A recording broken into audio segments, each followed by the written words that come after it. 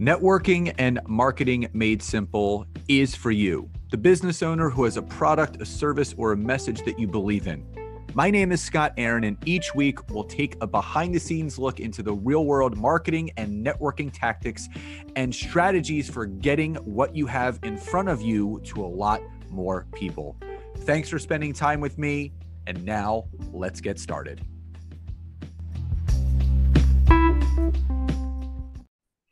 Hey everyone, welcome back to another episode of Networking and Marketing Made Simple. Super excited for today's episode for a number of reasons. Number one, as you know, it is Thursday, so you know this is another amazing interview episode. And another reason why I'm excited is it's not every day that I get uh, someone of this caliber on the podcast that is helping so many business owners, so many entrepreneurs grow and scale in a different way. Um, and and again, everyone has heard of virtual assistants, you know, VA. But the one thing I love about what this person is doing is expanding past the normal everyday VA and focusing on something called executive level assistance. And we're going to talk about all that and more. Um, she is the CEO of Chatterboss. Uh, so, Valerie Trapunski, welcome to today's episode. Thank you so much. What a great intro. Thank you so much, Scott, for having me. Absolutely. So, let before we talk about Chatterboss and you know the, the big difference between executive level assistants to the, your traditional everyday virtual assistant, which again I think the audience really wants to know.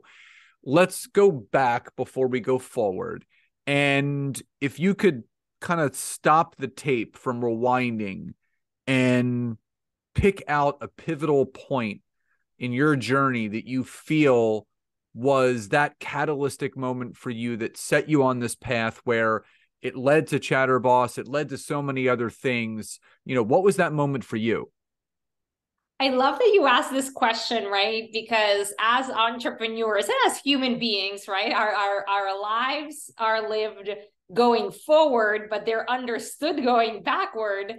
And I know that the entrepreneurial journey for many people is like, you would never guess that this is what it is, right? It was not this like very clear linear path. And that's certainly what it was for me, or rather, what it was not a linear plan. So I started my career working in advertising. I was an account person, and my goal was to become the CEO of an advertising agency. And um, you know that's what I was working towards.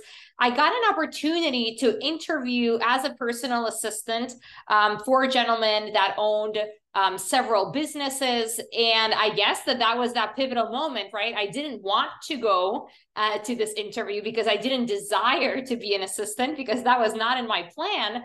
Um, but when I showed up, he said, Well, do you have a passport?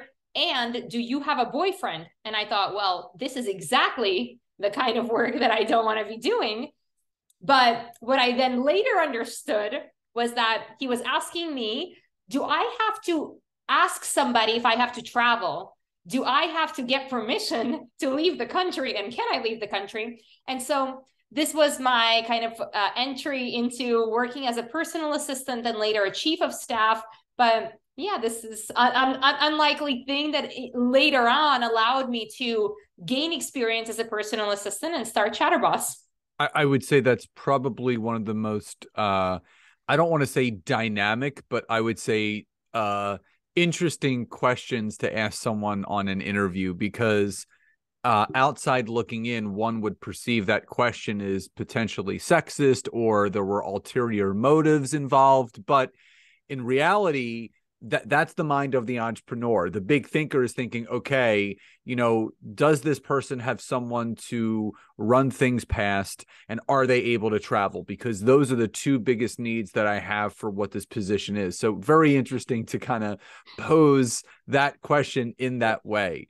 Now from the, the the the world that you're in now compared to the world that you came from you know, doing the virtual assistant work, you know, doing the head of operations, working for someone else. What would you say was the biggest learning lesson or experience that you learned working for someone else that allowed you to then better not only open and have your own business, which you do, but lead others the way that you were led? It's interesting. I think that people become entrepreneurs a lot of the time, not because it's something that they've decided to do. They've it's come out of a necessity and a lot of the time it's because we have a very hard time being managed by others. And the only person that can manage us is ourselves. Um, i had a very very hard time working for other people because i always wanted to do whatever it is that i wanted to do um, but that experience was necessary. I wouldn't have been able to start chatterboss without that. And you know i i learned to work as a team and that was very very important for me because I'm, I'm i'm very individualistic as a person. And so i just want to get things done on my own. I don't want others to slow me down. Um, and a lot of the times right um, my at, at my core uninterested in the opinion of others what actually being in this role allowed me to do was to soften to the need for others for working as a team. As an assistant i often worked um, with with other assistants. I didn't know. I always thought that an assistant you are one and you are supporting the individual you're supporting. I was one of many and so that experience allowed me to understand i can lean on others I can rely on others. There's going to be people with a different skill set that I don't have, and I should leverage it. Um, but I needed it. it. It was kind of like a painful lesson because when I was young, this was this was very very hard for me to do. Yeah, you know, I, I think understanding all the different nuances and uh, the roads that are traveled when you're an entrepreneur. And again, to your point, uh, sometimes people have entrepreneur in their blood. It's in their DNA. They were they were meant to do it. Uh, other people are kind of either a kicked out of the nest and and forced into uh, doing something, or b uh, they realize as they work for other people that they may you know they might be psychologically unemployable where they're they're better off you know answering to themselves than someone else so um i completely agree with that now i'm sorry i'm going to borrow that psychologically unemployable that's yeah. so brilliant i really, so, really something i uh my first business coach jeffrey combs that was the one thing that he taught me uh, I hired, he was the first coach I hired about almost 10 and a half years ago.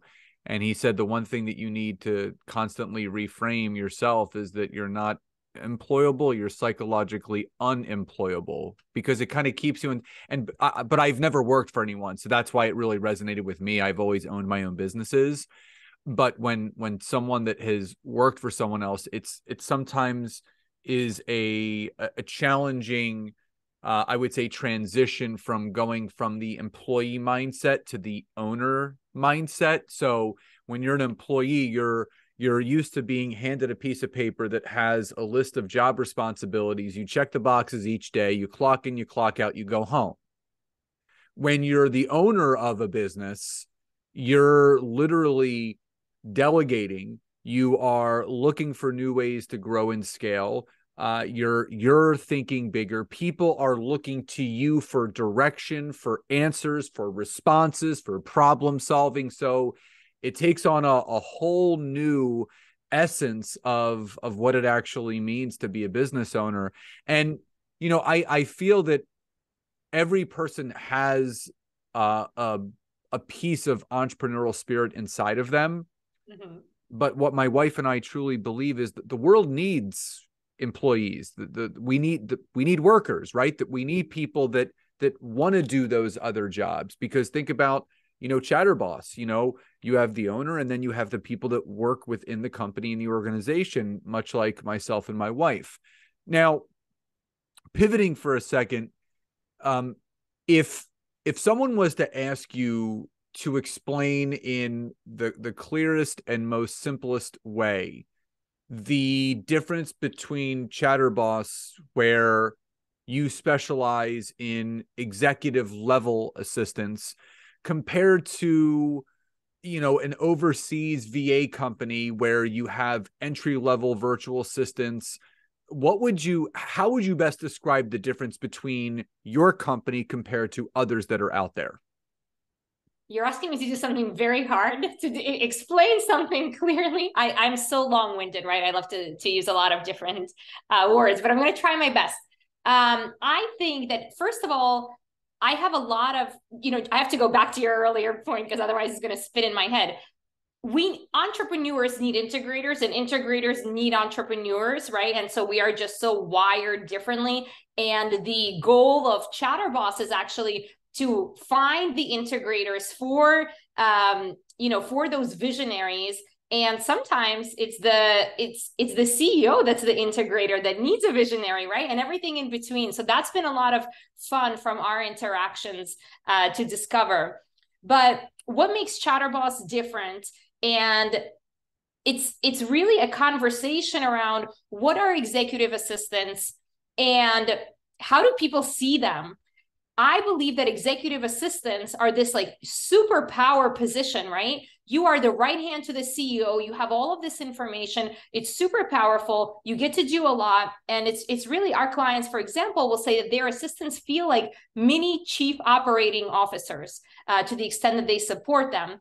Now, there is still, I, I think that in the world of VAs, there is this kind of stigma of assistants are task doers and assistants are so much more than that but i think that what chatterboss does is then create you know finds these people that are strategic partners that are going to be these super powerful executive assistants um, gives them the tools finds the right entrepreneurs and then creates this model right because with an assistant you also have a backup etc um, and you also get paired to a relationship manager then then guides your delegation process uh, and so on. And so, you know, that's the big conversation now in the space of uh, virtual executive assistants.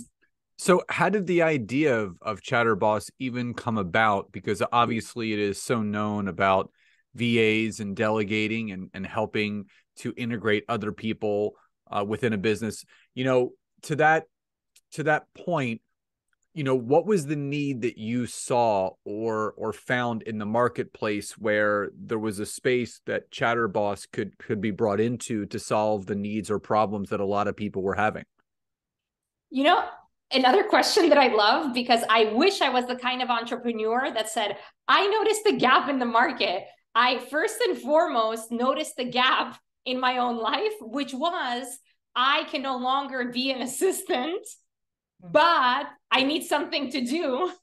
And I have reached like the niche, uh, this this this like kind of percentage niche of of assistance and supporting these really interesting entrepreneurs. And I'd like to continue doing that, but through having other people um, support. So that's really where the idea or like the need came out of uh, was that I love entrepreneurship. I love entrepreneurs. I wanted to do something useful for them. And I wanted to um, I wanted to delight people.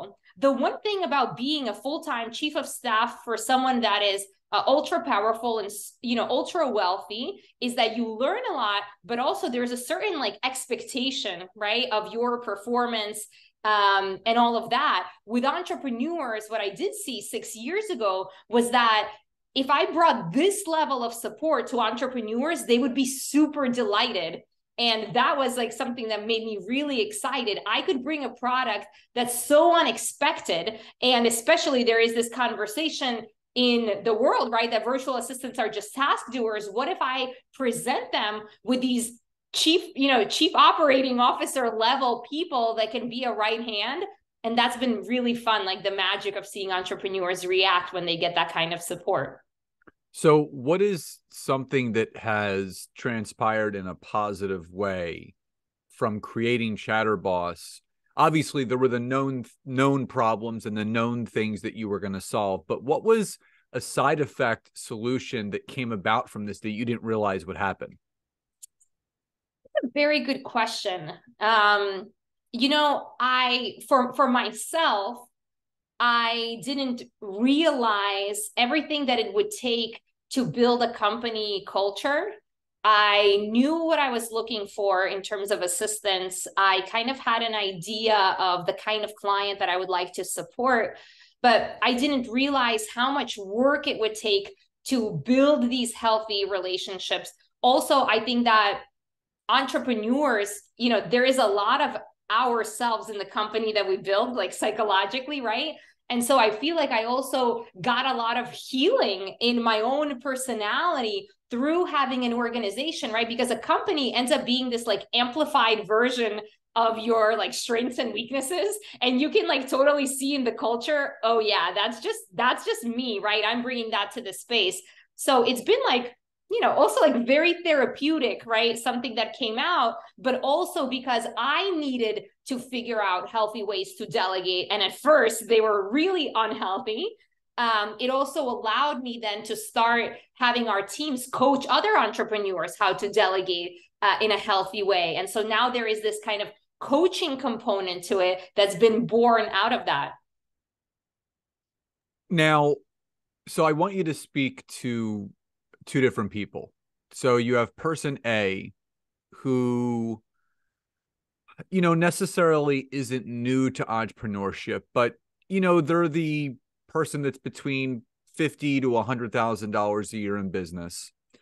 And then you have the more established uh, entrepreneur business owner at a quarter million dollars a year uh, or more. Um, to person A and person B, I think a lot of people are sometimes fearful of outsourcing, handing the baton off to someone else because as the adage goes, no one cares about your business more than you do. And you know, this is something that Nancy and I have learned. We've we've been outsourcing more and more. We have been hiring more and more, and it's allowed us to grow more and more. But mm-hmm. it it took us time to get there. So to the person A who is new and is thinking about, okay, when is the right time for me to start outsourcing? And then person B who has the monetary means to outsource but is afraid to. Speak to those two different people and and what message do you have for them? Yeah, absolutely. So, my belief is that entrepreneurs, or, or, my observation from watching entrepreneurs over the years, is that entrepreneurs believe that there is the right time to start delegating and the right time to start bringing on an assistant. And that right time is right at the intersection of I have enough time, but not so much time anymore. I have some resources, but not, you know, but not too many, but, you know, I, I can finally uh, afford it um, and kind of they're looking for this perfect time to start delegating. So, person A is in the category of what entrepreneurs often consider to be like the too early stage and that means i've just started my business or or i've been operating for a little bit of time. I don't have all of the resources that i want yet. And so i'm going to keep the administrative part of the business with myself.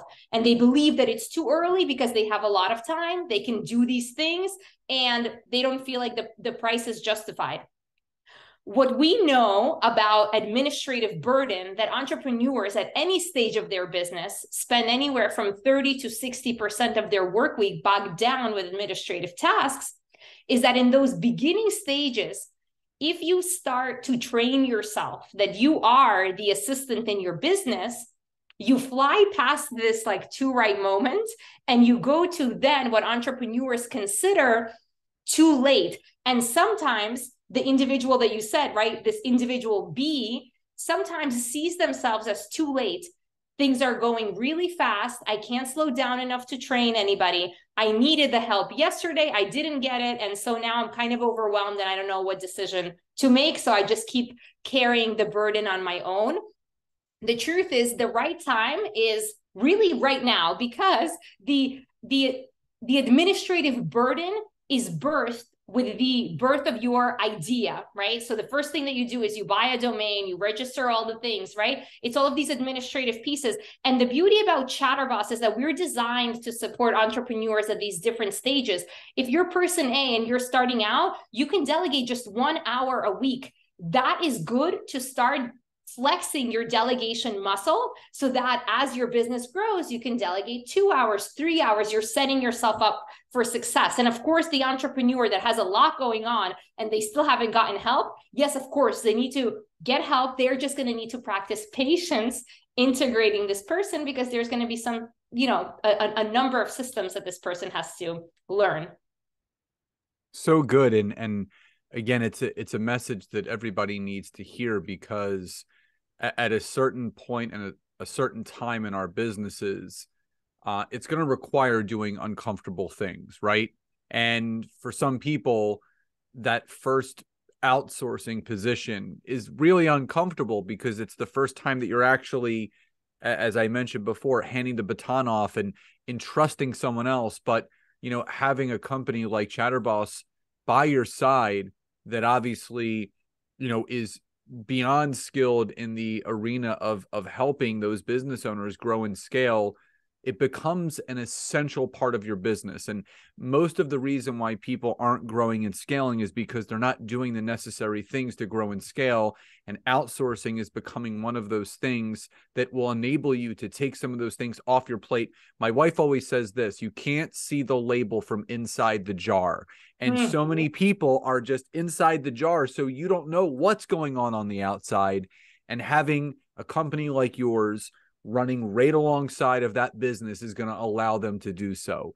So, um, Valerie, before I get to my final question, if someone is looking to learn more about Chatterboss, uh, or if they're a right fit hmm. for what your company provides, first tell people where they can go to find out more about you, and and second, um, who is the best fit for who you guys serve.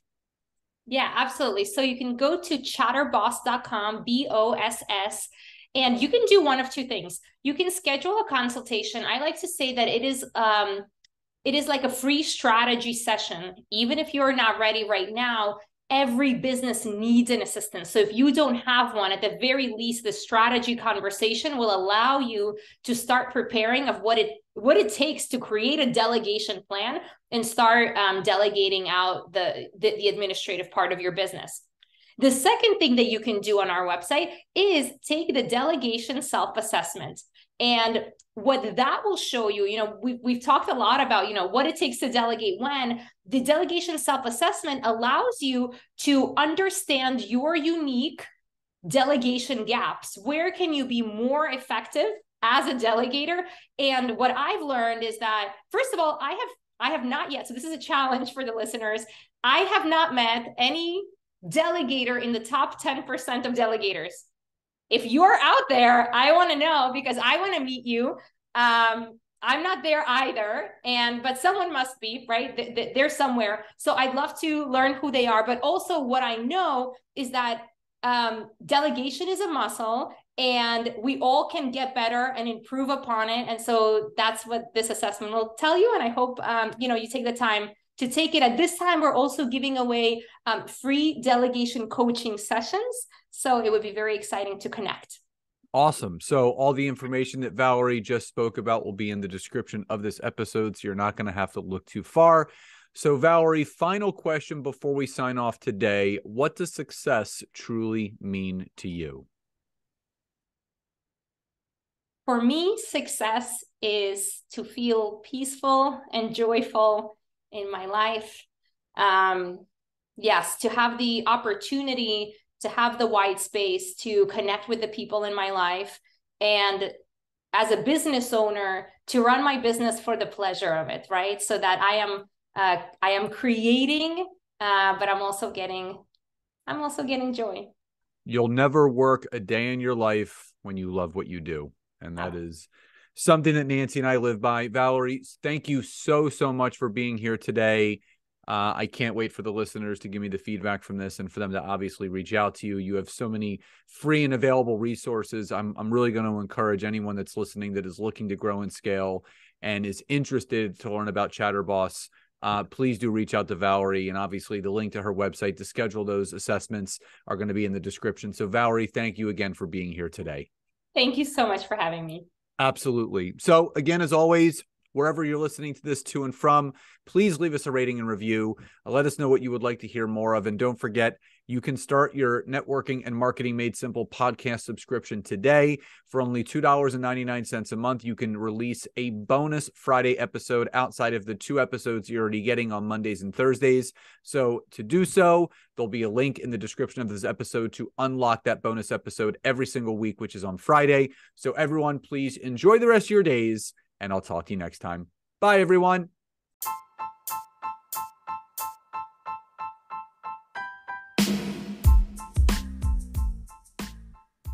Thank you so much again for checking out today's episode. And if you are listening through iTunes, Spotify, wherever you are, please leave me a rating and review. Let me know what you loved, what you would like to see improved, or ideas you have for future episodes. And if you are interested in taking your business to the next level, don't hesitate to go to my website, www.scottaaron.net, where you can schedule a free discovery call with me, where I can learn more about you, your business, what you're struggling with, and how we can work together. And don't forget to check out my wife, Nancy, and mine, our free community on Facebook called LinkedIn Leads for Life. We would love to see you in there. Have a great rest of your day.